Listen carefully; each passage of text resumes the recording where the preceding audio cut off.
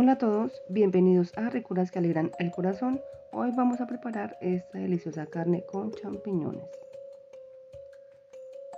Para comenzar utilizaremos una libra de carne. La tengo aquí abierta, la vamos a adobar. Para ello usaremos salsa de soya, salsa para carnes, usaremos sal, obviamente, un poco de pimienta y mezclamos, amasamos o sobajeamos nuestra carne para que se impregnen los sabores. Deliciosa receta, muy fácil, rápida y deliciosa. Ahora vamos a asar o a fritar como usted quiera. ¿Vale? Unos minutos, 7 minutos por un lado, 7 minutos por el otro y listo. Espero que preparen esta deliciosa receta. Se suscriban por favor al canal, me cuenten cómo les fue y dejen en la cajita de comentarios. Bueno, como pueden ver, mi carne ya está asándose. Vamos a dar la vuelta. Voy a poner otro trozo por aquí. Espero que preparen esta deliciosa carne, chicos. Les va a encantar. Es muy fácil y no les va a tomar más de 10 minutos asar la carne. Vamos a hacer los champiñones. Los voy a abrir súper fácil, rápido.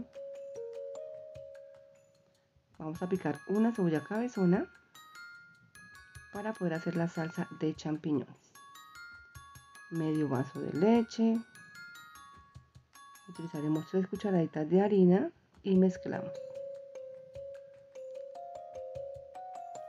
Mi carne ya está, chicos, como pueden ver ya. Vamos a hacer la salsa. Utilizamos, utilizamos perdón, mantequilla y vertemos la cebolla. La, la vamos a dejar sofreír unos minutos vertemos sal y mezclamos. Receta muy fácil chicos, espero que la preparen.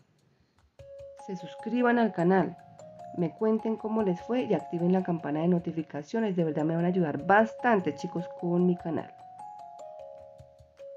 Vertemos los champiñones y dejamos cocinar unos minutos, de 7 a 10 minutos. Vertemos un poco de leche, medio vasito o menos y mezclamos.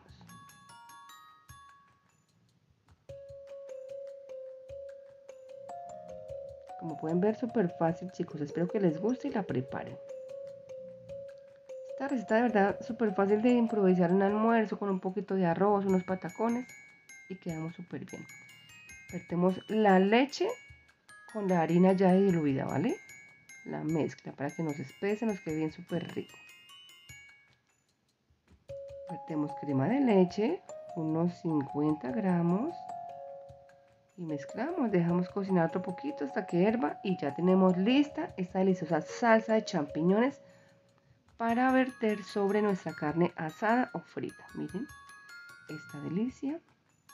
Y esto es todo por hoy chicos, espero que preparen esta deliciosa receta, se suscriban y me cuenten. Yo lo voy a compartir con estas deliciosas pataconas o tajadas de plátano frito. Esto es todo. Espero les guste, se suscriban, me cuenten cómo les fue y nos vemos en un próximo video. Hasta luego.